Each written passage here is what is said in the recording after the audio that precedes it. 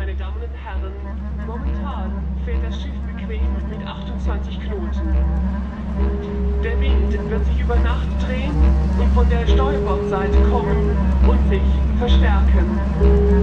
Daher erwarten wir, dass das Schiff mehr in Bewegung kommen wird. Bitte achten Sie auf weitere Ansagen. Wasserspiele.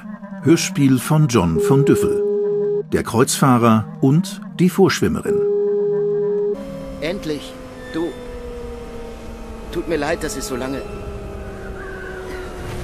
Ich hätte mich schon längst wieder bei dir gemeldet, aber. Aber wir haben uns ja jetzt.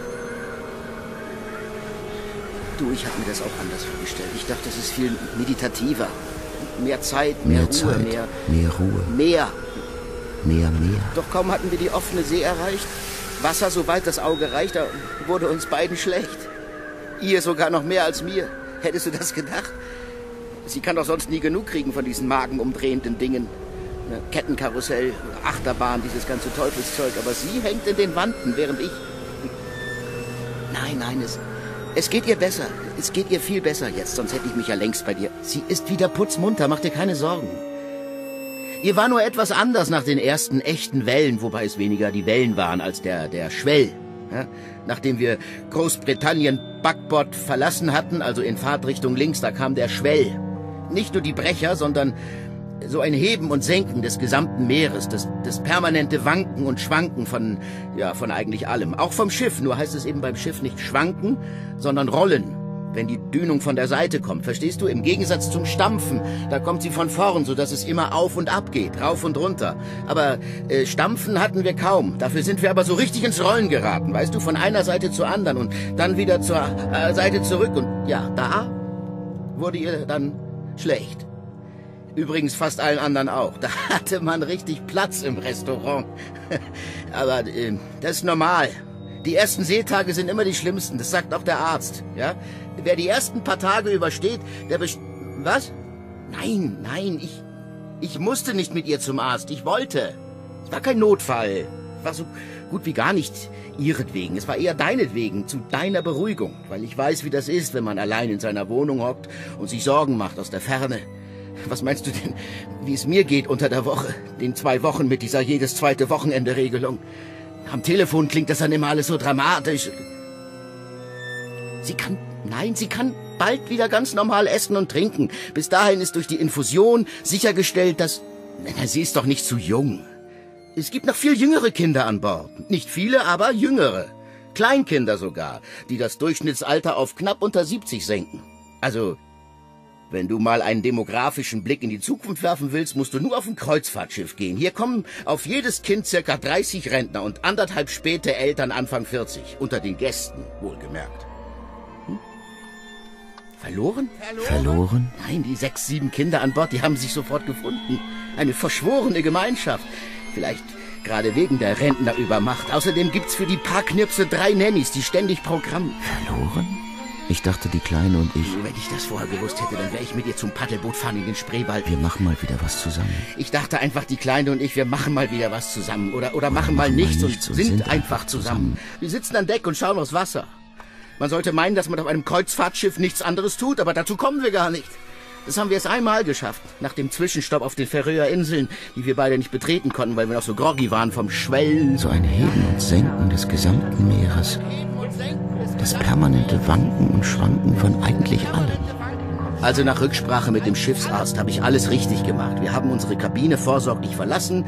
Ich bin mit der kleinen Mitschiffs gegangen. Mitschiffs unten ist bei Seegang der ruhigste Platz, sozusagen der Dreh- und Angelpunkt der Wippe. Insofern äh, kauerten wir also die meiste Zeit unten in der Pianobar, ein Deck über der Krankenstation, wo leider geraucht werden darf. Also in der Bar, nicht in der Station, nur falls sie sich über den Rauch beschwert.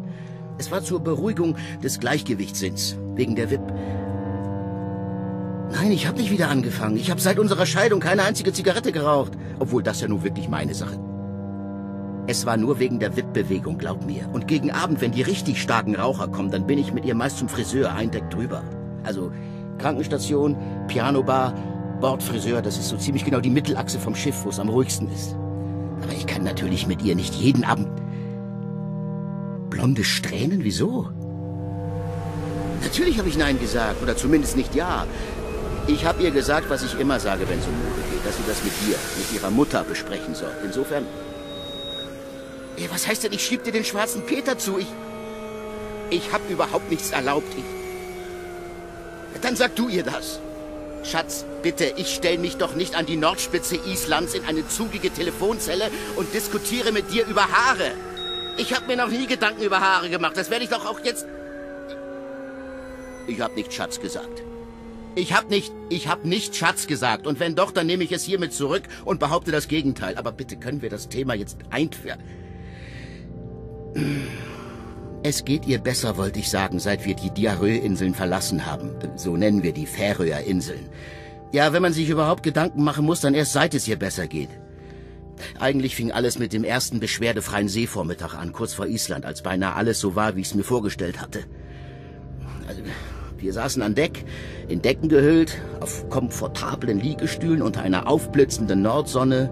Das Meer, eisgrau, eisgrau hellgrün, hellgrün oder ja, einfach, nur einfach blau, nur blau. sagenhaft blau übrigens. Ja, es war wirklich genauso, wie ich es mir vorgestellt hatte, als die Kleine plötzlich aufsprang. Fast gleichzeitig mit der Durchsage des Kapitäns von der Brücke. Vielleicht ein paar Sekunden danach. Wobei sie sicher behaupten wird, es sei ein paar Sekunden davor gewesen. Sie will ja immer alles zuerst entdeckt haben. Jedenfalls kommt auf einmal diese Lautsprecherdurchsage. Wal, da bläst er. Ja, da gab's natürlich kein Halten mehr. Alle auf dem Schiff nicht nur die Passagiere, auch die Stewards, das Küchenpersonal, sogar die Gäste auf dem FKK-Deck, alle stürzten ausnahmslos an die Reling. Das Merkwürdige war nur, alle hatten ihre Feldstecher, Fotoapparate oder Digicams dabei, griffbereit, sogar die Nackten.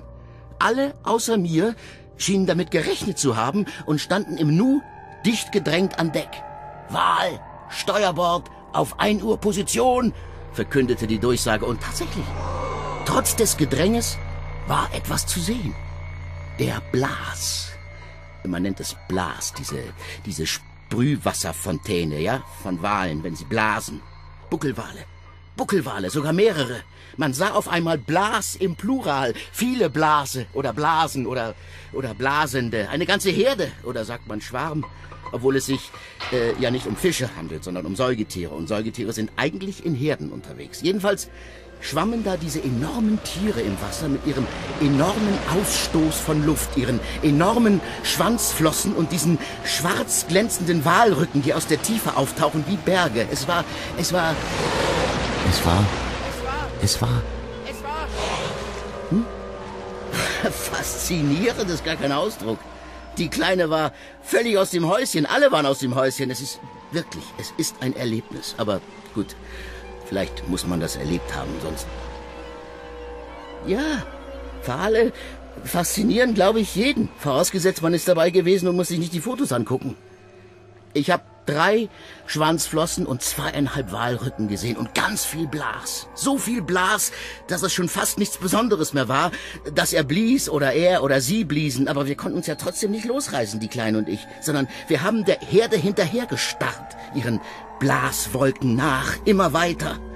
Der Kapitän hatte sogar etwas Fahrt aus dem Schiff genommen und beigedreht wegen der Aussicht auf die Walherde, die sich in nordöstliche Richtung verabschiedete. Und plötzlich, plötzlich rief jemand direkt neben uns, jetzt gar nicht zu mir oder zu sonst irgendwem, sondern nur so aus tiefstem Herzen, endlich ein Highlight.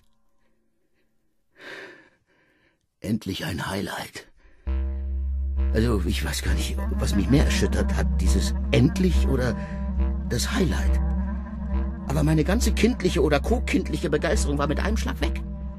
Bis zu diesem Zeitpunkt hatte ich nicht mal geahnt, dass wir darauf warteten, dass wir es erwarteten, dieses Highlight, dass es überhaupt darum ging, auf dieser Reise irgendwelche Highlights zu erleben. Ich hätte mir wirklich niemals träumen lassen, dass wir uns sozusagen auf einer Meeres-Großwild-Safari befanden, auf Highlight-Jagd. Aber weder unsere Tochter noch die Umstehenden wunderten sich darüber, sondern sie schienen dem endlich ein Highlight-Ausrufer beizupflichten. Offensichtlich hatte er nur zum Ausdruck oder zum Ausruf gebracht, was alle dachten. Sie hatten auf dieser Reise ein Highlight gebucht und gesucht und es stand ihnen zu. Und der Einzige, ja, der Einzige, der nicht verstanden hatte, worum es auf diesem Schiff wirklich geht, war wieder mal ich. Der Geisterfahrer dieser Kreuzfahrt. ich, der Geisterfahrer dieser Kreuzfahrt. Entschuldige, Schatz, ich verstehe nicht. Hm? Ich verstehe dich wirklich gerade ganz schlecht. Ich verstehe dich. Ja. Nein. Das ist ja das Traurige. Unsere Tochter, deswegen erzählst du ja, unsere Tochter fährt in die andere Richtung. Mit dem Strom. Wir sind gar nicht auf derselben Reise. Zumindest nicht, seit sie das Unterhaltungsprogramm im Kids Club durchzieht. Ihrer Clique abends die Decks unsicher macht, ja. Sie, sie findet, das Schiff muss ihr etwas bieten. Das Meer muss ihr etwas bieten. Die Natur, die Tierwelt, die Welt überhaupt muss ihr etwas bieten. Ich muss ihr etwas...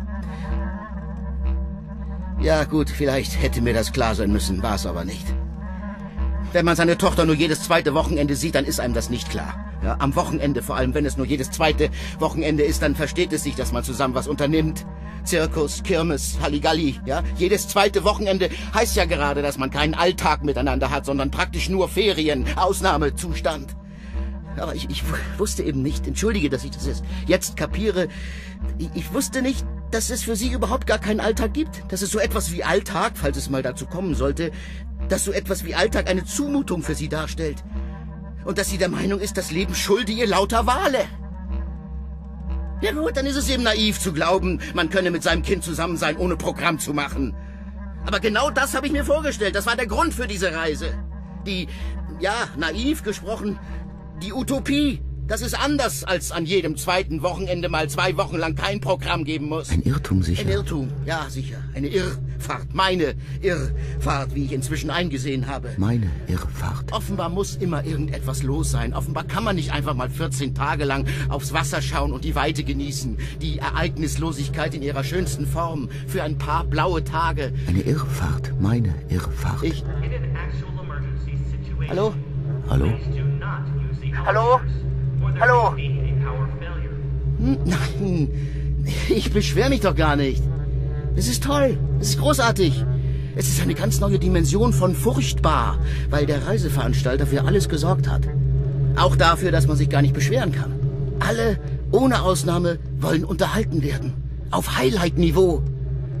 Dabei hätte ich mir nichts mehr gewünscht als Ruhe. Einmal in Ruhe. Mit meiner Tochter. Die Kleine und ich. Das ist doch nicht geriatrisch. Täuschst du dich? Nein, das... Kein Rentner will heute mehr seine Ruhe. Von Bingo bis zum Expertenvortrag. Vom Tanztee bis zur Dance-Show. Jetzt sitzt die Kleine in der Programmfalle. Ich sitz auch in der Programmfalle mit ihr und die Alten sitzen auch drin. Im anderen Teil des Schiffes. Und die wanken so lange von einem Highlight zum nächsten, bis sie tot umfallen.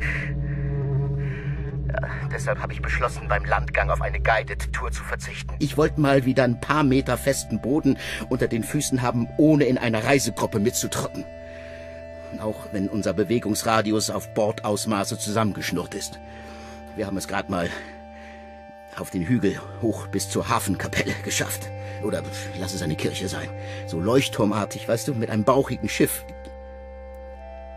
Nein, ich fange jetzt nicht an, mich auch noch für Kirchen zu interessieren. Aber die Kleine ist da kurz reingegangen, beten. Was weiß ich warum? Ich dachte, du wüsstest vielleicht... Ach, worum? Pff, darf man das bei Gebeten denn verraten oder gehen sie dann nicht in Erfüllung?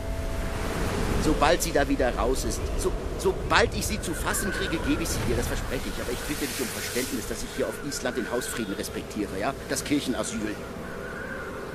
Ach, sie leidet doch gar nicht. Sie leidet unter überhaupt nichts. Schon gar nicht unter der Dauerberieselung, dem Kids Club, den Activities und den Adventures. Ihr gefällt das. Das Problem bin ich. Das Problem bin ich. Weil ich mich eben nicht glücklich schätze, meine Tochter los zu sein. Dass es für mich nicht der Inbegriff von Luxus ist, ein Kind zu haben, mit dem ich mich nicht beschäftigen muss. Ich, ich. Aber das geht doch gar nicht gegen dich. Es geht auch nicht gegen das Schiff oder den Reiseveranstalter. Es geht darum, dass so eine Kreuzfahrt gewisse Bedürfnisse befriedigt. Die Wunschträume und Glücksvorstellungen mit Kaufkraft. Diese Träume sind das Erschreckende. Und der Albtraum an Bord besteht nur darin, dass sie in Erfüllung gehen. In aller Perfektion und Perversion. Dieses Schiff ist eine einzige große Glaskugel. Und das Erste, was du siehst, ist, dass die Kinder verschwinden, dass sie unsichtbar werden. Dass die Kinder verschwinden. So wie wir es insgeheim immer gewollt, aber, aber nie zu sagen gewagt haben. Wir reden dauernd davon, dass Kinder die Zukunft sind, aber wir wollen bitteschön nicht, dass sie uns in die Quere kommen. Und Genau das. Genau das kannst du hier ungeniert genießen. Hier bekommst du bestens bekocht und gut unterhalten deine allergeheimste Sehnsucht serviert. Kinderfreie Bahn. Doch nicht du persönlich, das war. Das war ein allgemeines Du. Verstehst du denn nicht? Verstehst du denn nicht? Verstehst du denn Verstehst du nicht? Das ist ein Spiegel. Das ist ein Spiegel der. Ja, will jetzt nicht sagen Gesellschaft, aber verstehst du? Familie, dieser ganze Fortpflanzungsverbund zwischen den Generationen. Familie existiert bloß noch als nostalgische Anwandlung. In, in Wahrheit interessiert sich jeder nur für sein eigenes bisschen Leben. Nein, nein, ich bin nicht wütend. Ich bin traurig, bin einfach tief traurig, weil Ich bin traurig.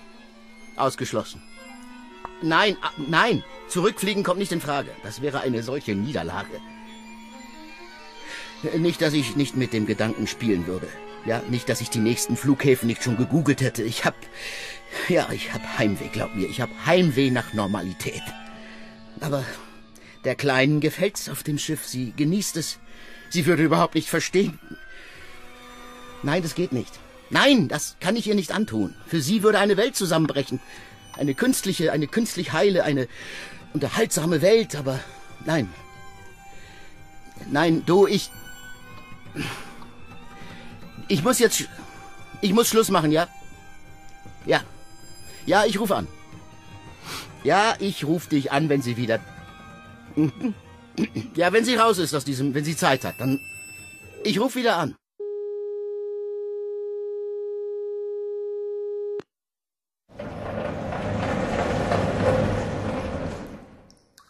Übrigens ist es ein wunderbares Becken. Naturstein, wie in Fels gehauen, schmal zwar, nur eine Bahn im Grunde, aber mehr als 25 Meter lang über die ganze Breite des Panorama-Bungalows.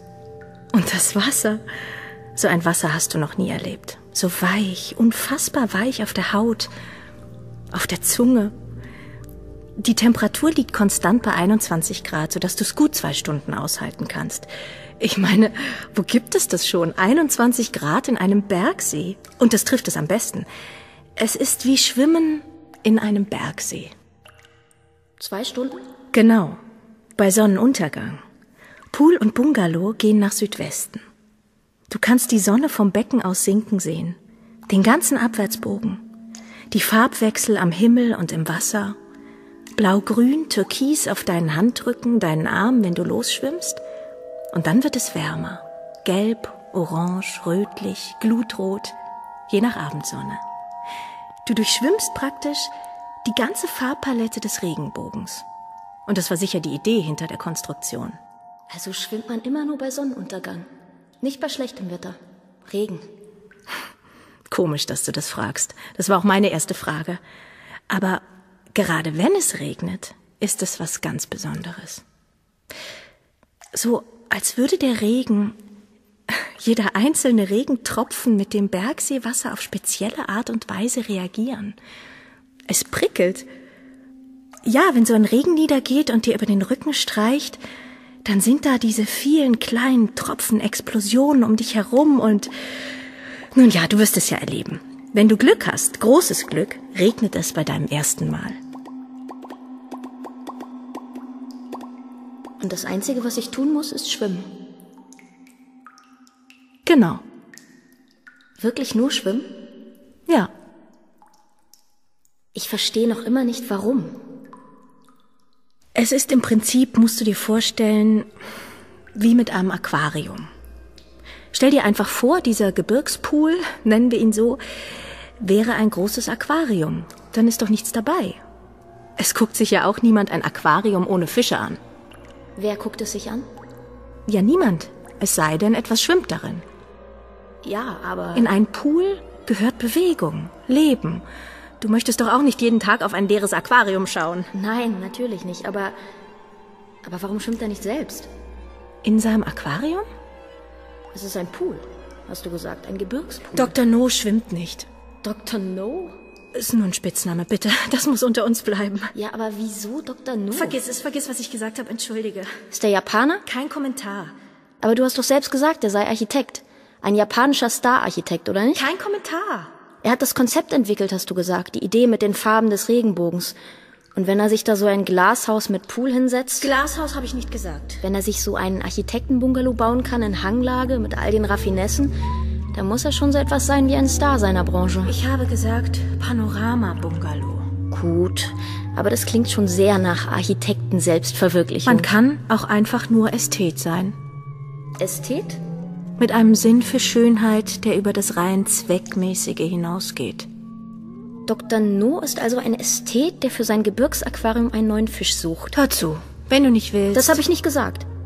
Ich will bloß wissen, warum. können wir vielleicht erst über das reden, was du wissen musst, und dann über das, was du wissen willst. Ich dachte, ich muss einfach nur schwimmen. Ja, auf ästhetische Weise. Was heißt das denn jetzt schon wieder? Schön. Was heißt schön? Ach komm. Nein, wirklich, ich will, ich muss das wissen. Wie soll ich unseren Auftraggeber zufriedenstellen, wenn ich nicht weiß, was er unter schön schwimmen versteht? Also gut. Symmetrie ist wichtig. So eine Art goldener Schnitt der Bewegung. Es geht nicht um Schnelligkeit, schon gar nicht um irgendwelche Bestzeiten, sondern, wie soll ich sagen, um die Überwindung von Zeit durch Wiederholung, wenn du verstehst. Ich verstehe Wiederholung. Und genau darum geht es. Du musst nur ein und denselben Bewegungsablauf immer wiederholen. Und das soll schön sein? Es ist zeitlos. Also ich weiß nicht, ob ich in der Lage bin, zeitlos zu schwimmen. Es wird zeitlos, indem du die zweite Bahn genauso schwimmst wie die erste. Und immer so weiter, in vollkommener Gleichmäßigkeit. Ich weiß nicht, ob ich in der Lage bin, vollkommen gleichmäßig zu schwimmen. Du musst dich einfach konzentrieren. Zwei Stunden lang. Es ist gut bezahlt. Am Ende liegt im Badehaus ein Briefumschlag für dich, vorausgesetzt, du schwimmst schön. Zwei Stunden. Genauer gesagt, zweimal 55 Minuten. Du schwimmst immer nur 55 Minuten am Stück. Dann muss das Wasser fünf Minuten ruhen. Ich habe mal in Tokio im Olympiabecken trainiert. Da war es genauso. Fünf Minuten vor der vollen Stunde mussten alle raus. Auch die Langstreckenschwimmer, ob sie wollten oder nicht. In den letzten fünf Minuten war das Wasser tabu. Wir standen dann immer am Beckenrand, haben gefeixt und Witze gemacht nach dem Motto, in diesen fünf Minuten zählen die Japaner ihre Toten. Also ist er doch Japaner. Wer? Dr. No. Hör auf damit, ja? Natürlich solltest du nicht am Beckenrand herumfeixen. Du musst ganz still stehen und dem Wasser deinen Respekt bezeugen. Deinen Dank. Fünf Minuten lang. Und das hast du gemacht? In Tokio nicht, wie gesagt, aber bei dem Gebirgspool, ja, selbstverständlich. Es kam dir nicht seltsam vor? Etwas ungewohnt anfangs, aber inzwischen finde ich es eigentlich richtig. Den Respekt vor dem Element und die Dankbarkeit nach dem Schwimmen. Was tut man nicht alles für Geld? Das ist nicht der Punkt. Nicht? Oder nicht mehr. Am Anfang habe ich es wegen des Geldes getan. Aber inzwischen? Inzwischen gefällt es dir von Dr. No. Entschuldige, vor dem Ästheten durch sein Panoramafenster hindurch angestarrt zu werden, während du schwimmst. So ist es nicht. Er starrt dich nicht an? Soll das heißen, er bezahlt dich dafür, dass du in seinem Pool schwimmst, schön schwimmst, ohne dass er dir zuguckt? Anstarren und zugucken sind nicht ganz dasselbe. Ach, und warum glaubst du, lässt er es sich so viel kosten, wenn er sich nicht aufgeilt an dir? Deinem Körper? Warum sollte er solch einen Aufwand betreiben, wenn dein Ästhet nicht in Wirklichkeit ein verdammter Voyeur ist? So ist es nicht. Ist er dabei eigentlich immer allein oder hat er auch Gäste? Feiert er rauschende Partys in seinem Haus und alle stehen da in ihren Abendkleidern und Anzügen, Cocktailgläser in der Hand und sehen dir amüsiert oder interessiert zu, wie du? Nein! Oder Kameras? Bist du sicher, dass er keine Kameras installiert hat? Überall um den Pool, im Pool und in der Umkleide? Dem, wie sagst du so schön, Badehaus? Vielleicht sitzt er die ganze Zeit an irgendwelchen Schaltpulten und Monitoren, zoomt an dich heran und schneidet sich dann nach Sonnenuntergang seine perversen Sexfilmchen zusammen. Hör doch mal auf. Wie naiv bist du eigentlich? Wie naiv glaubst du eigentlich, dass ich bin? Jetzt hör mir doch mal zu. Ich höre dir die ganze Zeit zu, aber ich habe das Gefühl, dass du mir nicht die Wahrheit Es sagst. ist nicht, wie du denkst. Es ist einfach nicht, wie du denkst. Und wie ist es dann? Es geht nicht um Sex. Um nichts Sexuelles. Dann kannst du etwa auch durchschauen? Durchschauen? Durch die Scheiben. Kannst du ihn durch die Scheiben sehen? Kannst du ihn sehen, während er dich sieht? Ich konzentriere mich. Wenigstens seinen Schatten? Seine Silhouette? Du weißt nicht mal, wann er am Fenster steht und wann nicht? Ich konzentriere mich aufs Schwimmen, wie gesagt. Und nach dem Schwimmen, wenn du dich beim Wasser bedankst, siehst du ihn dann? Dann bedanke ich mich beim Wasser. Du kannst also nicht durch die Scheiben sehen. Wieso sollte ich? Weil dahinter ein Mann steht und du nicht weißt, was er mit dir macht, deinem Bild, deinem Anblick. Ich verstehe nicht, warum das so wichtig ist. Weil er dich sieht, ohne gesehen zu werden, hinter seinen verspiegelten Scheiben. Und du willst mir erzählen, es ginge um nichts Sexuelles. Sie sind nicht verspiegelt. Was? Die Scheiben. Sie sind getönt, nicht verspiegelt. Was macht das für einen Unterschied? Es ist nicht die CIA oder NSA, es ist nur ein Bungalow mit getönten Scheiben wegen der Sonneneinstrahlung am Berg. Und nein, es gibt keine Partys, keine perversen Gesellschaften, keine Kameras. Woher willst du das wissen? Ich weiß es. Woher? Ich weiß, was ich wissen muss. Und das reicht dir? Da spielt einer Gott, sieht alles, weiß alles, hat alle Macht über dich. Und du spielst mit? Du lässt das einfach mit dir machen? Jedenfalls, ich wurde nie schlecht behandelt. Nie. Wieso sagst du mir nicht die Wahrheit? Es ist die Wahrheit. Ich bin nie schlecht behandelt worden. Die Wahrheit ist, dass er dich kauft. Er kauft dich für die Zeit, die du bei ihm bist und ihm etwas vorschwimmst. Er bezahlt dich und du tust, was er will. Genauso gut könntest du ihm etwas vortanzen an der Stange oder dich auf einem Divan ahlen, wie bei einer Piepshow. Es ist keine Piepshow. Es ist wie eine Piepshow. Er sieht dich, du siehst ihn nicht. Er zahlt und du befriedigst seine Sehnsüchte, seine Schaulust. Lass uns die Dinge beim Namen nennen. Die Wahrheit ist, du verkaufst dich, deinen Körper, dein Bild. Und das einzige wahre Wort, das ich dafür kenne, ist Prostitution. Gut, das reicht jetzt. Ich hab. Gibt es viele wie dich? Wie? Hat er noch andere Mädchen? Das reicht jetzt wirklich. Hat er noch andere Callgirls? Wir sind keine Callgirls. Also hat er noch andere? Nein. Und wer ist wir? Wir? Du hast gesagt, wir sind keine Callgirls. Wer ist wir? Na, du und ich. Das heißt, ich dachte, wir wären wir. Ich und du als meine Nachfolgerin. Aber so wie es aussieht. Dann bist du immer allein. Ich meine, allein da abends im Pool. Ja, wenn du das wissen willst. Ich komme allein, schwimme allein und gehe allein. Dir begegnet kein Mensch? Nein. Niemand?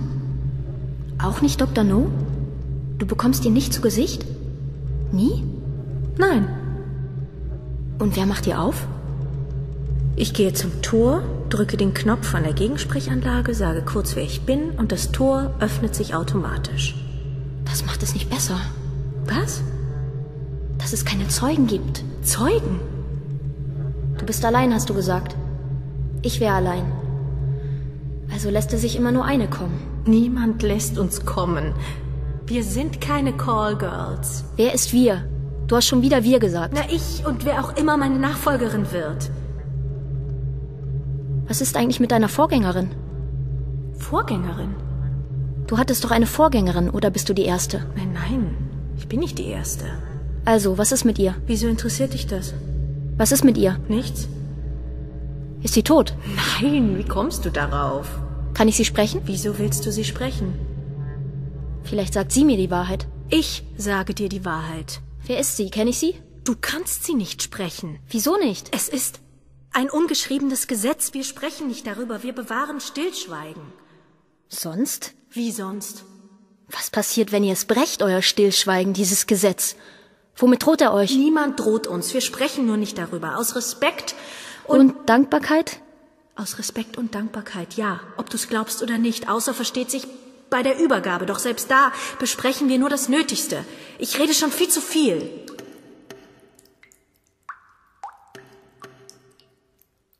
Hat deine Vorgängerin weniger geredet, als sie dir den Job übergeben hat? Es ist kein Job. Es ist. Natürlich ist es ein Job. Ein mentaler Blowjob. Es ist ein Amt. Ein Amt? Ja. Eine Art Hochamt. Das glaubst du doch wohl selber nicht. Die Hure als Heilige, die Tempeldienerin Otetere.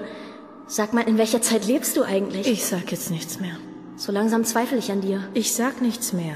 Ich will deine Vorgängerin sprechen, heute noch. Das heißt, falls sie noch lebt. Natürlich lebt sie. Warum sollte sie nicht? Irgendetwas ist doch mit ihr. Was soll mit ihr sein? Geht es ihr gut? Weiß ich doch nicht. Ich kann auch zur Polizei gehen. Um zu fragen, ob es ihr gut geht? Ob sie tot ist. Sie lebt. Wie oft soll ich das noch sagen? Sie lebt etwas weiter außerhalb in einer Siedlung am Stadtrand. Nach allem, was ich höre, ist sie inzwischen verheiratet und schwanger oder hat schon ihr Kind. Musste sie deswegen aufhören? Was? Wegen der Schwangerschaft? Hat man ihren Bauch zu sehr gesehen? Nein, das kam später. Die Schwangerschaft oder dass man es sehen konnte? Beides, nehme ich an. Dann ist das Kind nicht von ihm? Von wem? Dr. No. Wenn du nicht endlich damit Und aufhörst. dann gerade zur rechten Zeit kamst du als ihre Nachfolgerin. Rank, schlank, nicht schwanger. Du bist doch nicht schwanger, oder? Nein, Und warum wirst du dann ausgetauscht? ich werde nicht ausgetauscht. Bist du ihm zu alt? Will eine jüngere? Oder einfach nur Abwechslung? Ich werde nicht ausgetauscht. Dann hast du gekündigt, freiwillig, ja? Warum willst du nicht mehr? Und warum sollte ich wollen, was du nicht willst? Hör zu. Es tut mir leid. Das war ein Fehler. Mein Fehler. Ich dachte, es könnte dich interessieren. Du seist womöglich die Richtige. Falsch gedacht. Ich hätte dich nicht fragen sollen. Vergiss es. Vergiss es einfach. Aber wieso denn? Du willst nicht und ich will dich nicht überreden. Also lassen wir das. Aber ich will ja. Ich habe nie gesagt, dass ich nicht will. Du hast gesagt, Ich habe nur gesagt, ich will wissen, worauf ich mich einlasse. Das heißt doch wohl, dass es mich interessiert. wirklich, Sonst würde ich ja nicht fragen. du willst meine Nachfolgerin werden. Ja, natürlich. Ich will den Job. Oder das Amt, wenn dir das lieber ist. Wegen des Geldes. Soll ich lügen? Nein, nein, schon gut. Am Anfang habe ich es ja auch wegen des Geldes gemacht. Und ein bisschen, weil ich es aufregend finde. So als Poolhostess. Naja, Poolhostess. Das ist es doch, was er will. Eine schwimmende Hostess für seinen Gebirgspool. Ich würde eher sagen, Nur ohne Sex. was? Nur schwimmen, hast du gesagt. Ohne anfassen, oder? Sicher. Oder hat er dich angefasst? Wollte er Sex von dir? Nein, Ich will es nur wissen, damit ich mich darauf einstellen kann. darum geht es nicht. Ich will einfach nur wissen, was ich verkaufe und für welchen Preis. Du würdest es auch machen, wenn Wenn es entsprechend bezahlt wird? du würdest deinen Körper verkaufen? Davon reden wir doch die ganze Zeit. Ich nicht. Nein, du nicht. Du redest darum herum, aber ich. Ich habe nie gesagt, dass du deinen Körper verkaufen sollst. Es ist wie mit einem Aquarium, hast du gesagt. Nur, dass Dr. No keinen Fisch für seinen Pool will, sondern eine Schwimmerin. Leider gibt es uns nicht in einer Zoohandlung. Und das Kaufen von jungen Frauen und ihren Dienstleistungen ist noch immer. So habe ich das nicht gemeint. Was nicht heißt, dass ich es nicht mache. Vorausgesetzt, der Preis So stimmt. läuft das nicht. Alles hat seinen Preis. Also ganz ehrlich, ich glaube, wir lassen es. lassen? Ja, es tut mir leid, aber ich ich glaube wirklich, wir sollten es lassen. Glaubst du, ich kann Dr. No nicht zufriedenstellen? Darum geht es nicht. Warum denn sonst? Traust du mir das nicht zu? Nein, nein, ich habe mich getäuscht, meine Schuld. Was ist denn jetzt los? Kannst du nicht plötzlich einen Rückzieher machen? Ich mache keinen Rückzieher. Ich hatte schon die ganze Zeit kein gutes Gefühl und inzwischen bin ich mir sicher, dass ich bin zu dem Schluss gekommen, dass es falsch ist.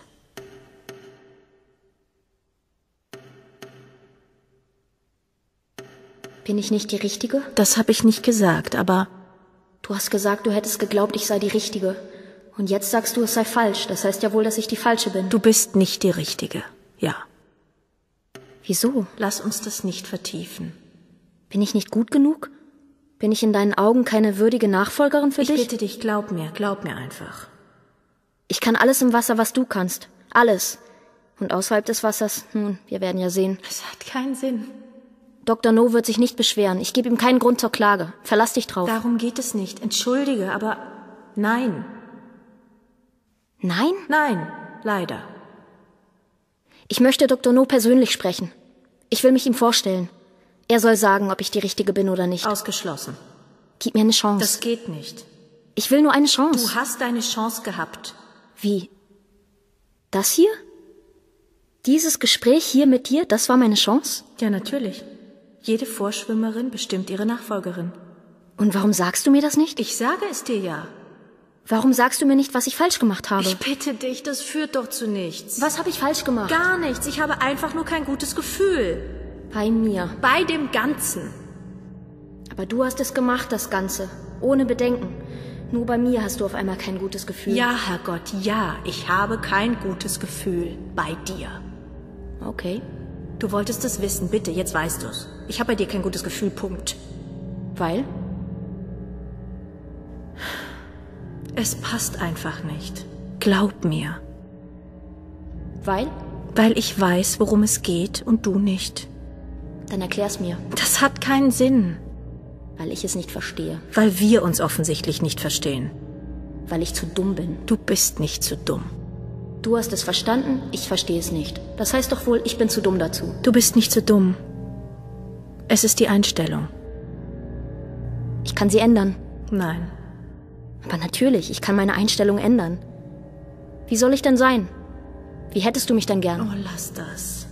Stelle ich dir zu viele Fragen? Lass das. Bin ich zu direkt oder zu plump für dich und deinen Ästheten? Oder zu... Das hat wirklich keinen Sinn. Zu ordinär, wollte ich sagen. Ich bin zu ordinär für den Job. Das Amt. Dein Hochamt, nicht wahr? Ist einfach zu hoch für mich. Du weißt gar nichts. War es der Sex? Sag es mir bitte. Habe ich dir, euch, zu viel über Sex geredet? Kein Kommentar. Ich wusste es. Ihr mögt es nicht, wenn man davon spricht. Kein Kommentar.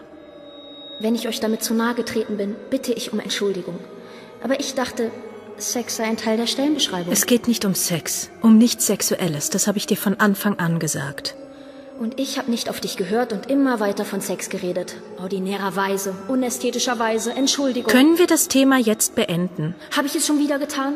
Tut mir leid. Immer musst du alles kaputt machen. Immer musst du alles in den Schmutz ziehen. In meiner ganzen Zeit als Vorschwimmerin habe ich mich nicht so beschmutzt gefühlt wie jetzt durch dieses Gespräch mit dir. Das war nicht meine Absicht. Wenn du glaubst, dich prostituieren zu müssen, wenn du bereit bist, für Geld alles zu tun, dann bitte, tu dir keinen Zwang an. Aber ich habe es nicht getan und würde es auch nie tun, weil ich keine Nutte bin. Und erst recht keine zu alt gewordene. Hast du das jetzt verstanden? Ich bin nicht deine Puffmutter. das wollte ich damit nicht. Und ich lasse mich nicht länger von dir beleidigen, hörst du? Ich lasse mich und das, was ich getan habe, mit Respekt und Dankbarkeit getan habe, nicht länger von dir beleidigen. Das wollte ich damit weder sagen Es noch... dreht sich nicht alles um Sex, nur weil sich für dich alles um Sex dreht. Es ist nicht jeder pervers, nur weil du so denkst. Sich eine Schwimmerin für seinen Pool zu kaufen, also wenn das nicht pervers Red ist. nicht von Dingen, die du nicht verstehst. Red nicht bei allem, was dir zu hoch ist, gleich von kaufen und verkaufen. Red doch nicht immer alles herunter. Ich habe halt schlechte Erfahrungen gemacht. Ist es denn so unvorstellbar, so undenkbar für dich, dass es noch etwas anderes gibt, etwas Drittes, jenseits von Sex und Geld? Ich habe halt echt schlechte Erfahrungen gemacht. Und warum? Hast du dich das mal gefragt? Vielleicht, weil ich immer an die Falschen geraten bin. Und warum waren es die Falschen? Keine Ahnung. Weil du immer gleich das Schlechteste unterstellst. Weil du in allem das Hässliche siehst, nicht das Schöne. Nur, wer es nicht sehen kann, dem passiert auch nichts Schönes, verstehst du?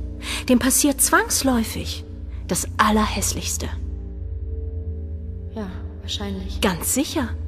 Und es wird nicht besser, wenn du so weitermachst. Du wirst weiter an die Falschen geraten und deine schlechten Erfahrungen machen, immer noch schlechtere, weil alles, was dir widerfährt, nichts anderes ist als die Bestätigung deines eigenen Vorurteils.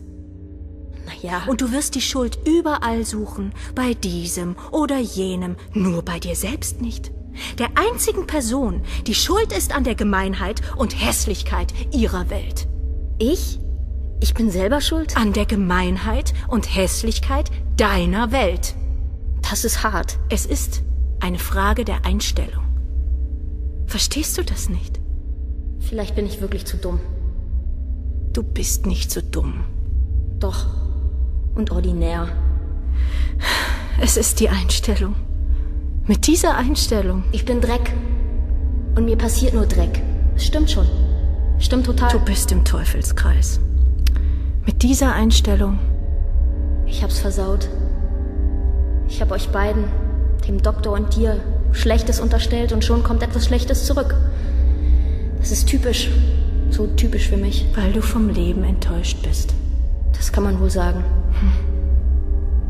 Weil du ein paar Mal vom Leben enttäuscht worden bist und jetzt mit all den anderen Enttäuschten darum wetteiferst, wer von euch am enttäuschtesten ist.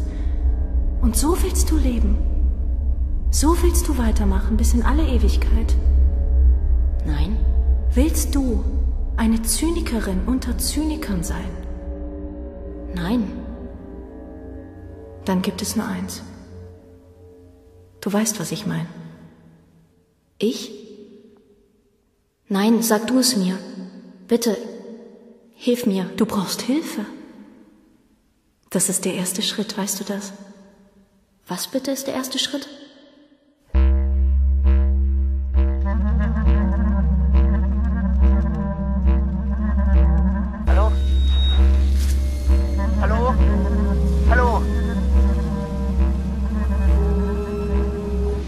Bin's wieder. Bist du schon wach? Entschuldige, ich wollte dich nicht. Euch nicht. Oh, entschuldige, das ist jetzt. Das ist peinlich. Ich. Ich würde ja später nochmal anrufen, aber das Handy. Das ist nicht meins. Das ist das von dem Unternehmensberater, von dem ich. Wir sind gerade innerhalb der Drei-Meilen-Zone von. Also, du, ich mach's ganz kurz. Oder habt ihr Wichtigeres? Na, ich frage ja nur. Wir sind. Was? Nein, wir sind nicht an Land. Wir sind in einem Fjord. Im Eisfjord. Also, Land ist in Sicht, links und rechts. Fjorde sind ja so Schneisen. Wasserschneisen ins Festland hinein oder so, so zwischen Inselgruppen hindurch. Ne? Wann warst du denn in Schweden? Ach, er. Er ist Schwede, so. Oder war in Schweden lange, ja. Ja, schön für ihn. Also wir. Hm, wir sind kurz vom Nordpol, Spitzbergen. Das ist schon was anderes als Stockholm und übrigens Norwegen. Nein, ich bin allein. Bis auf die Eisbärenwächter, die in der Kälte stehen, Gewehr über der Schulter, Feldstecher in der Hand. Sie halten nach Eisbären Ausschau, damit die putzigen Tierchen beim Anlegen nicht über Gruppen von deutschen Wohlstandsrentnern herfallen. Doch, wir haben einen gesehen. Noch so ein Highlight. Äh, Tut mir leid, ich langweil dich. Äh, Oder ihn. Tut mir Äh, leid. schon gut, schon gut, schon gut. Ich erwähne ihn nie wieder. Also ich meine, ich meine jetzt nicht den Eisbären, sondern Er war eine Enttäuschung.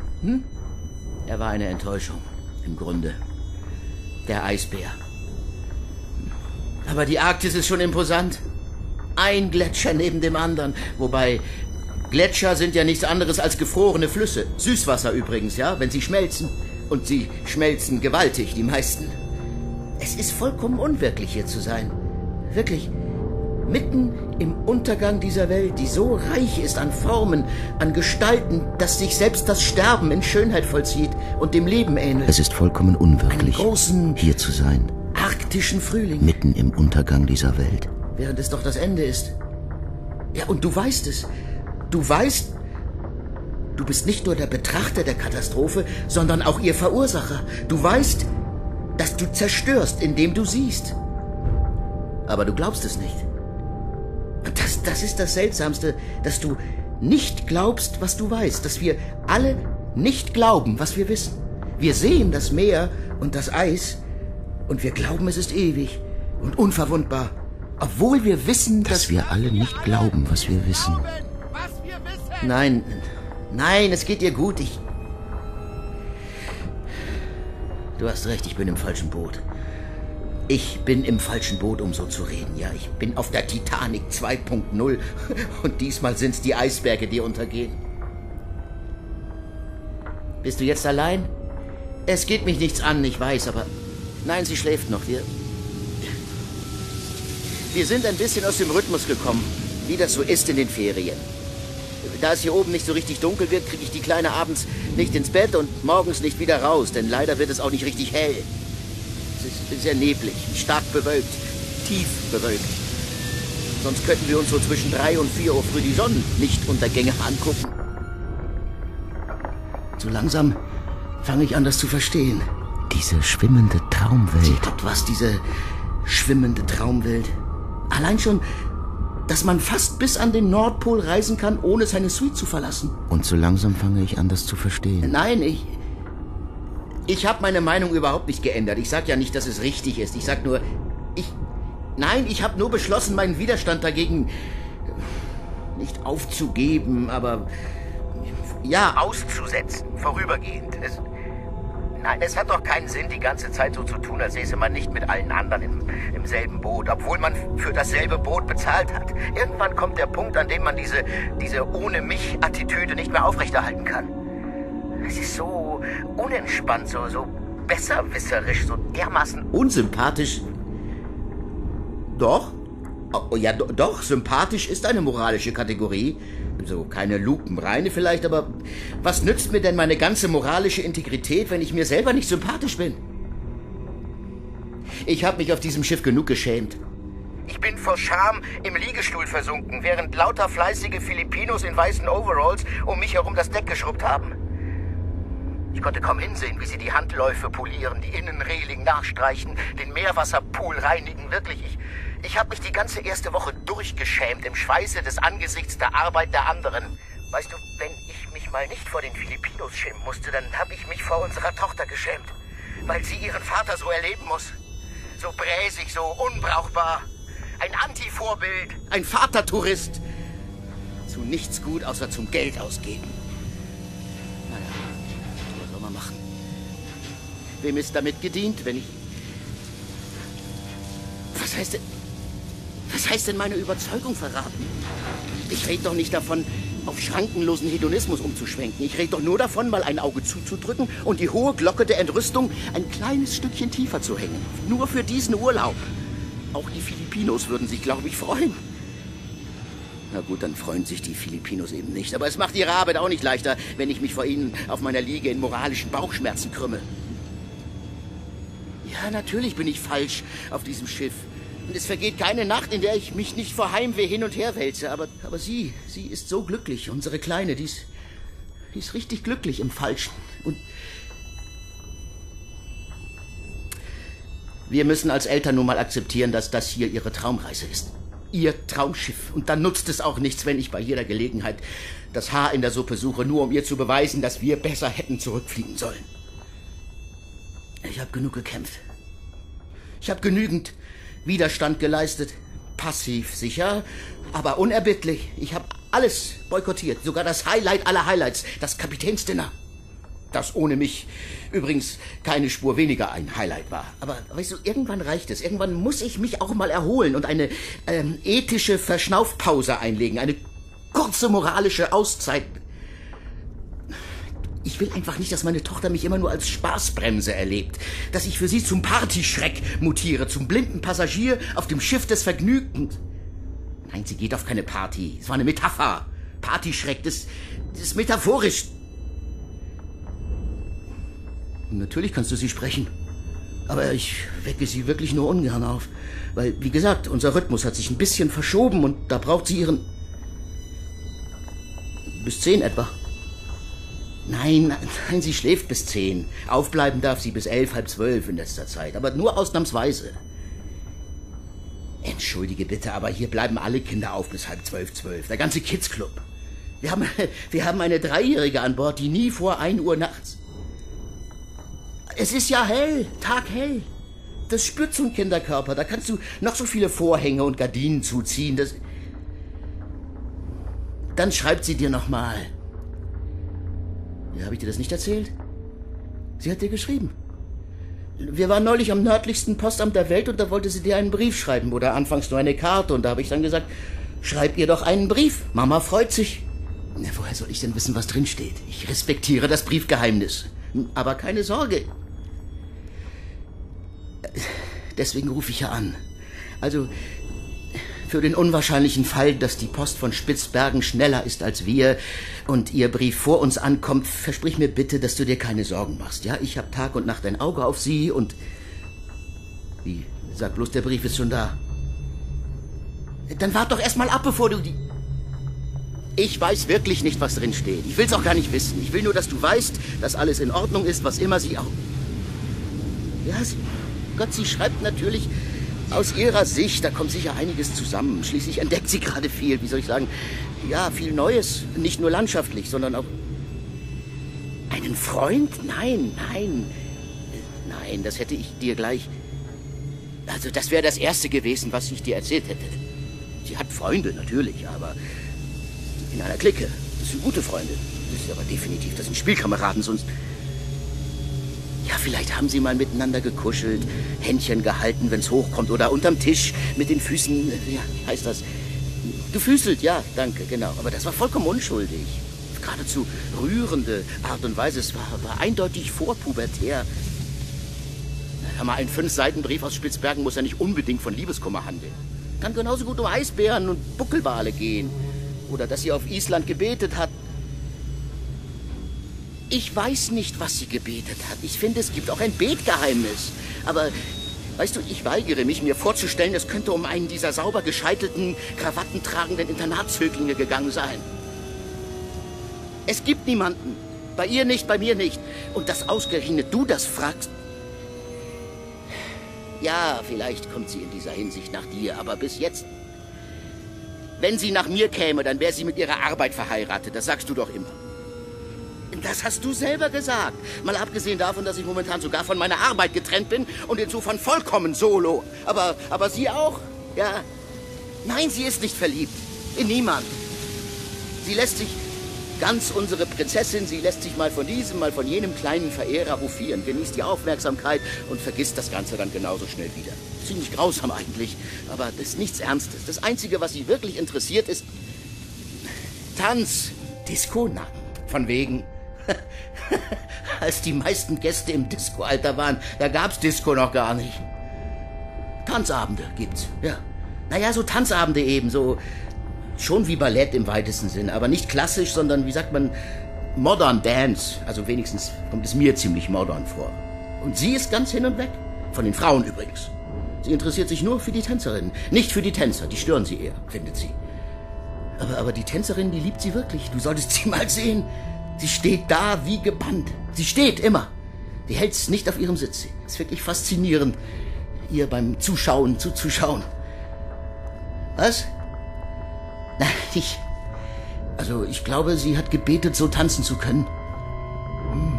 Das ist wirklich eine Form von Andacht, von Huldigung, die sie den Tänzerinnen entgegenbringt. Eine Form von Andacht. Sie betrachtet diese gazellenartigen Geschöpfe wie höhere Wesen. Schon morgens, wenn sie auf schwindelerregenden Stilettos zum Frühstücksbuffet trippeln und in ausgreifenden Gesten mit ihren Armreifen klimp. Hm? Ich schlepp sie nicht mit. Sie schleppt mich mit. Ich würde mir das nie freiwillig ansehen. Mich interessiert an dem ganzen Getanze nur eins. Ist es jugendfrei? Weil, weißt du, je später der Abend... Pornografisch habe ich nicht gesagt. Ich habe... Nein, ich habe die Frage gestellt, ob es... Es ist ja jugendfrei zu 99 Prozent, zu 99,9... Es ist jugendfrei. Und das wenige, was eindeutig erotisch ist... Aber das gehört nun mal zum Tanz. Erotik ist der Grund, warum das Tanzen erfunden wurde. Nicht, dass ich mir daraus etwas machen würde, aber Tanz ohne Erotik, das, das wäre ja wie Fußball ohne... Ja, was soll ich denn machen, wenn sie diese Tänzerin vergöttert, mit, mit ihrer ganzen Clique geschlossen in diese Dance-Shows pilgert? Da bin ich abgemeldet. Ich, Da bin ich abgemeldet. ich kann sie nicht daran hindern. Ich kann höchstens nicht mitgehen, wenn dir das lieber ist. Aber davon weiß sie doch gar nichts. Gerade dass sie die sexuelle Seite nicht versteht. Gerade dass sie davon keine Ahnung hat, nicht die geringste Ahnung hat, das beweist doch gerade, wie sehr sie noch Kind ist. Wie fern ihr das alles liegt. Und ja, das ist auch wieder beruhigend. Also, macht dir einfach keine Sorgen, ja? Sie. Nein. Nein, sonst gibt es nichts. Sie tanzt, sie schreibt, das wäre alles. Ja. Du, entschuldige, ich. Ich halte euch jetzt schon so lange auf. Ihr wollt bestimmt weiter. Oder du musst zur Arbeit, genau, ja.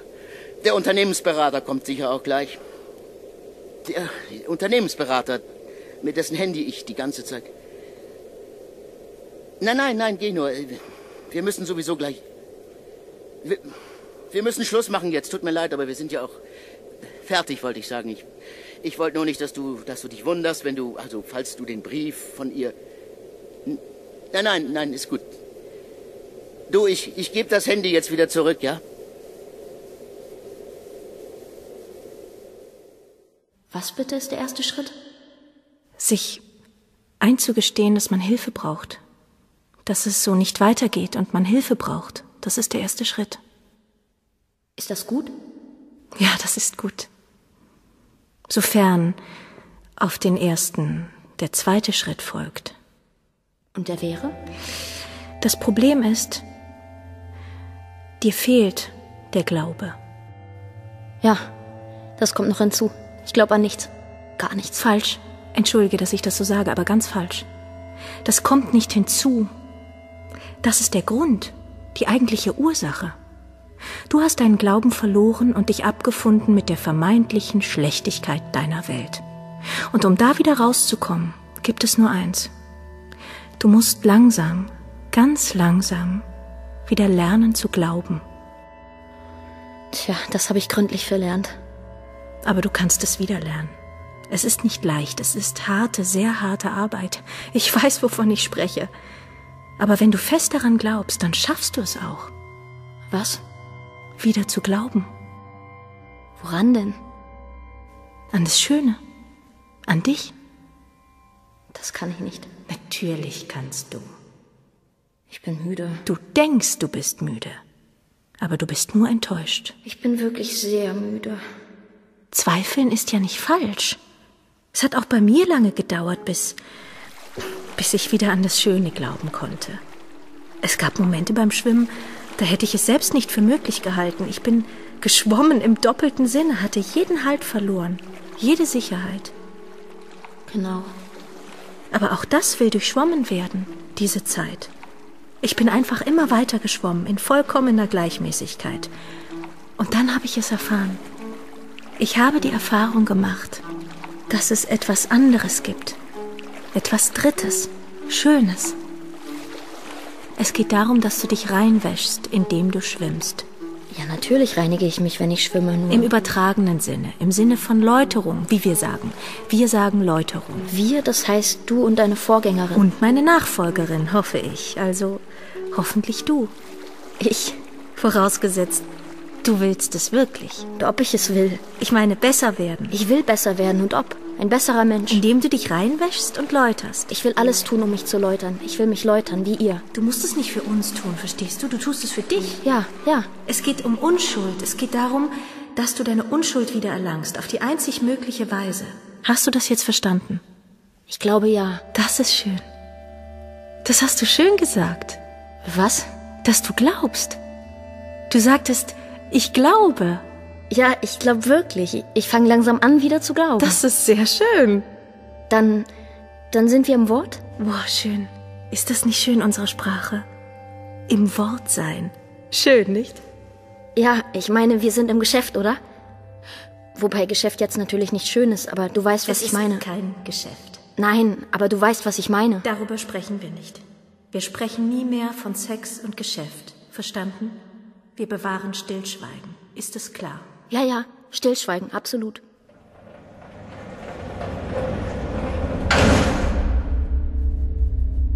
Gut. Du hast es verstanden. Danke, ja.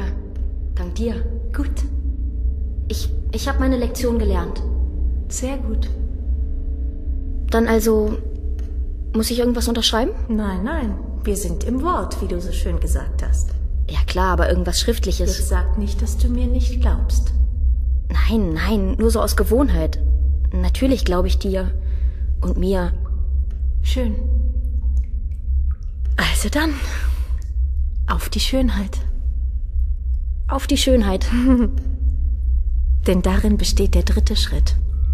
Vom Glauben an das Schöne zur Schönheit selbst. Darin besteht das Geschenk, das dritte, was man nicht kaufen kann. Dass sich der Körper im Glauben selbst überschreitet zur Schönheit, zum reinen Schönen. Aber keine Sorge, der dritte Schritt ist der leichteste, folgerichtigste, zwangsläufigste. Wenn du Schritt eins und zwei geschafft hast, geschieht der dritte Schritt, die Selbstüberschreitung ganz von allein. Okay. Ja. Du musst nur anfangen zu glauben. Zu schwimmen und zu glauben. Na dann. Nackt natürlich. Entschuldigung? Wegen der Reinigung. Hast du gerade nackt gesagt? Und wegen der Körperlichkeit, damit sie sich entgrenzt. Wir schwimmen nackt? Natürlich nicht im übertragenen Sinne. Du wirst dich nicht nackt fühlen, nur am Anfang vielleicht ein wenig, aber dann im Gegenteil. Du wirst spüren, wie sich deine Nacktheit transzendiert. Okay. Du hast doch kein Problem mit Nacktheit. Nein, nein, ganz und gar nicht. Es ist nur aus ästhetischen Gründen, aus Gründen der Transzendenz. Kein Problem, ich verstehe schon. Bestens. Dann ist das alles, was ich wissen muss? Im Prinzip. Wann, wann fange ich an? Wenn die Sonne untergeht. Heute noch? In zwei Stunden. Geht das? Doch, ja, kein Problem. Also dann. Schwimm schön. Ach, ähm, wie komme ich rein? Ich führe dich hin. Heute. Beim ersten Mal. Bei Regen vielleicht. Und morgen? Morgen klingelst du einfach am Tor an der Gegensprechanlage, sagst deinen Namen und dass du für mich kommst. An meiner Stelle. So einfach. Ja, das ist alles. Und ansonsten stillschweigen. Nicht vergessen. Klar, das, das versteht sich. Übrigens eins noch. Wenn du dich transzendiert hast und unberührbar geworden bist in deiner Nacktheit, du verstehst, Ja? wenn du den Punkt erreicht hast, dass du von dir sagen kannst, ich glaube und sehe das Schöne, den Punkt, an dem es nicht mehr weitergeht und du willst aufhören, Wenn ich aufhören will, ja, verstehe. für den Fall also noch eine Bedingung. Du musst eine Nachfolgerin finden. Eine Nachfolgerin? Ja, ein Mädchen, eine junge Frau, eine Schwimmerin, die deinen Platz einnimmt. Du musst sie überzeugen, mit allem, was du an Glauben, an Überzeugungskraft gewonnen hast. Erst dann hast du es wirklich geschafft. Ich muss. Du musst deinen Glauben an sie weitergeben. Den Samen und Keim deines Glaubens, so wie ich ihn an dich weitergegeben habe, damit sie es dir gleich tut. Wir nennen es Einweihen. Ich muss sie dazu bringen, für mich zu schwimmen. Nicht für dich, sondern an deiner Stelle. Sie tut es ja dann für sich, um ihrer selbst willen. Das heißt, vorausgesetzt, du überzeugst sie. Ja, aber Du musst ihr die Chance geben, sich zu befreien aus dem Abwärtsstrudel von billigem Zynismus und Enttäuschung. Hallo? das heißt, um aufhören zu können, muss ich erst Einen Menschen retten. Ja, retten? aus dem Teufelskreis. Du musst erst dich retten und dann eine andere. Hallo? Hallo? Also, ich. Ich weiß nicht. Erst dann bist du frei. Wirklich frei. Also, ich weiß nicht, ob ich das Ich kann. bin sicher, du kannst das. Du wirst es können, wenn es soweit ist. Ja, aber wann, wann denn? Wen denn? Du wirst wissen, wer die Richtige ist, wenn du an den Punkt gekommen bist. Dann, dann wusstest du von vornherein, dass du mich, dass ich für dich? Dass du meine Nachfolgerin werden würdest? Ja? Nein. Ich wusste es nicht. Das konnte ich nicht wissen. Aber Ich habe es geglaubt.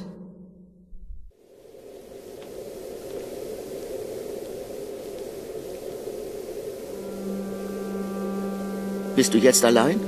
Äh, entschuldige, dass ich das so direkt. Kannst du reden, meine ich. Ich. Ich muss mit dir reden. Es ist dringend. Nein, ich habe nicht getrunken. Es ist hier gerade kurz vor sieben. Ich trinke nie vor sieben, selbst wenn. Ah, bei euch auch, ja. Ja, stimmt. Vom Längengrad her sind wir fast auf einer Linie mit euch. Also in derselben Zeit. Zeitzone. Mir leid, ich sag euch. Aber ich meine natürlich dich. Nicht, nicht. Äh Ach so. Ach, dann seid ihr jetzt also richtig zusammen. Also, da seid ihr jetzt zusammengezogen. Hm? Nein, natürlich ist es dein Leben. Ich frage ja nur. Also, wie auch immer, kurz die nautischen Informationen. Wir sind Windstärke 8 bis 9 und Wellen zwischen 5 und 6 Metern auf die vom Nordmeer abgewandte Seite der Lofoten eingeschwenkt. Hier ist es friedlich, durch den Schutz der vorgelagerten Inseln. Windig schon noch, aber das Wasser ist ruhig. Die Inselkette dient gewissermaßen als Wellenbrecher. Und auf dem Fjord selbst baut sich so schnell kein Seegang auf. Hier kann einem gar nicht schlecht werden. Und wir sind auch vor Anker. Wir fahren nicht, nein. Wir liegen auf Rede. Also das Schiff. Wir und die meisten anderen Gäste sind schon nicht weit. Auf einem kleinen Berg oder Hügel, gleich neben der Anlegestelle. Ich bin hochgeklettert bis ganz nach oben, auf den höchsten Punkt, wegen des Empfangs. Nein, mit der Kleinen ist nichts. Sie war nur ein bisschen sauer, dass wir den Trollfjord liegen lassen mussten. Den hätte sie halt gern gesehen. Allein vom Namen her. Trollfjord. In den Gute-Nacht-Geschichten, die ich ihr früher einmal vorgelesen habe, da gab's oft Trolle. Nee, ansonsten ist alles gut. Alles in Ordnung mit ihr. Es ist nur... Ich will ehrlich sein. Ich habe sie verloren. Ich habe sie verloren. Na, natürlich weiß ich, wo sie ist. Sie, sie macht diese Sightseeing-Bustour durch die Insellandschaft mit zwei Nannies, dem Kids Club und ihrem Freund. Aber ja, sie hat einen. Seit neuestem. So einen Internatshögling mit Seitenscheitel, Schlips und Kragen. Das wolltest du doch hören. Ich sag bloß, der Brief ist immer noch nicht da. Na, dann weißt du es eben jetzt. Ist ja wirklich keine Überraschung. Du hast es ja immer kommen sehen. Es ist ja auch na, der Lauf der... Nein, das Tanzen war nur eine Phase, so eine Art Vorspiel. Aus dem Grund wurde das Tanzen ja erfunden. Inzwischen dreht sich alles nur noch um... um was, was weiß ich... Was, weiß ich doch nicht, wie alt der ist. 14, 15 vielleicht. Frühreif. Ja, mag sein. Aber sie ist kein Kind mehr. Ja? Das ist es ja. Sie ist kein Kind mehr. Wir haben sie verloren. Und egal, was wir tun, du und ich. Und, und wenn wir uns auf den Kopf stellen, wir können die Zeit nicht wieder zurückdrehen. Wir haben sie verloren. Ich habe sie verloren! Ich mache dem Knaben ja gar keinen Vorwurf. Wenn er es nicht wäre, dann wäre es irgendein anderer. Es ist der Lauf der Welt.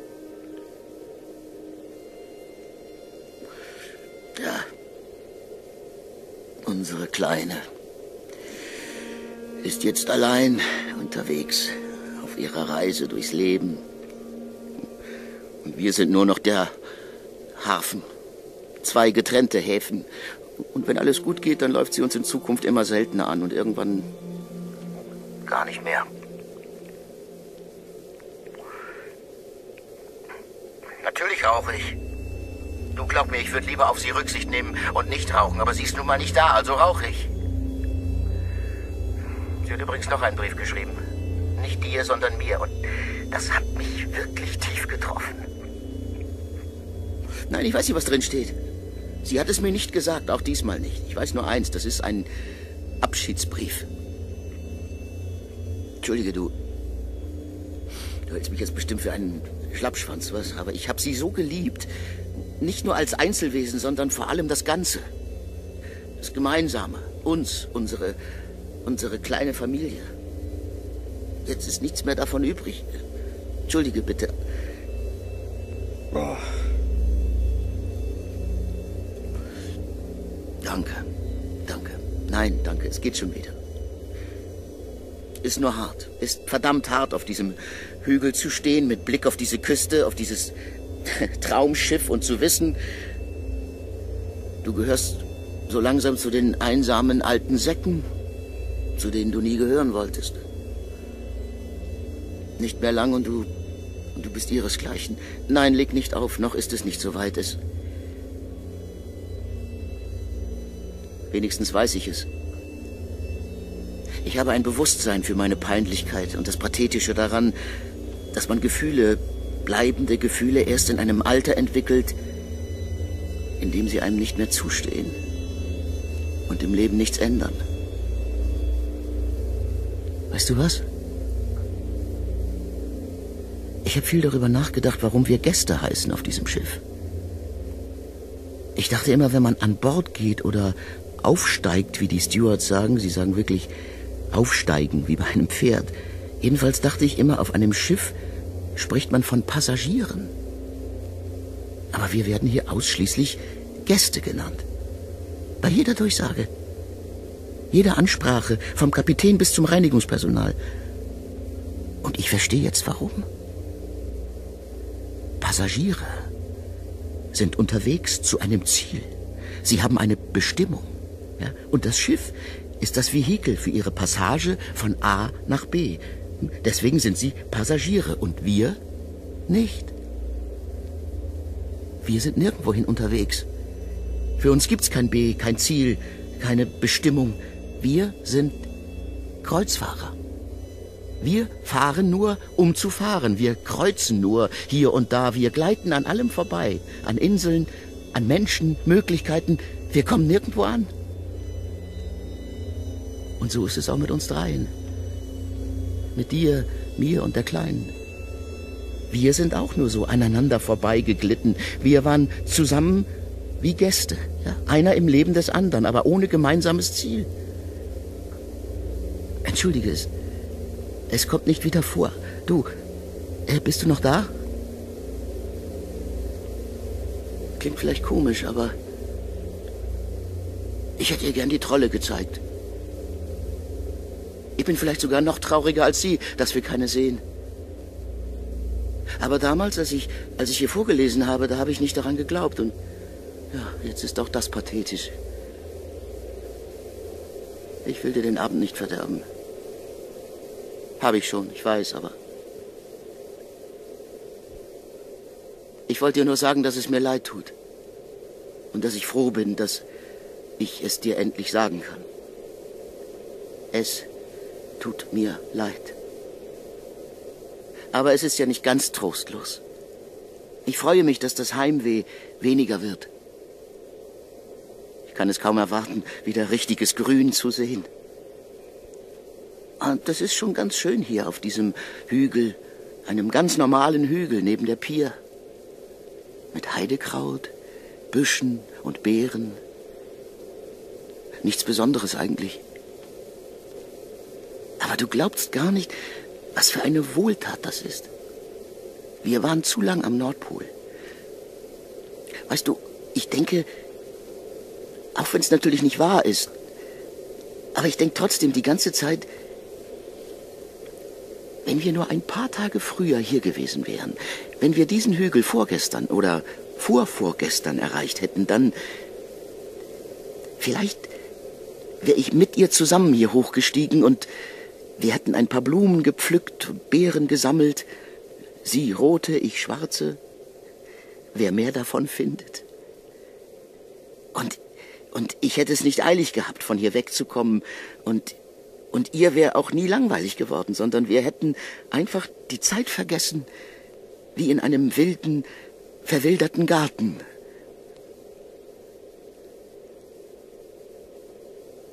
Hallo?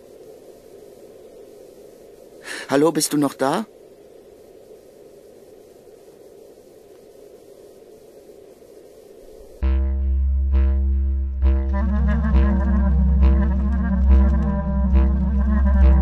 Wasserspiele.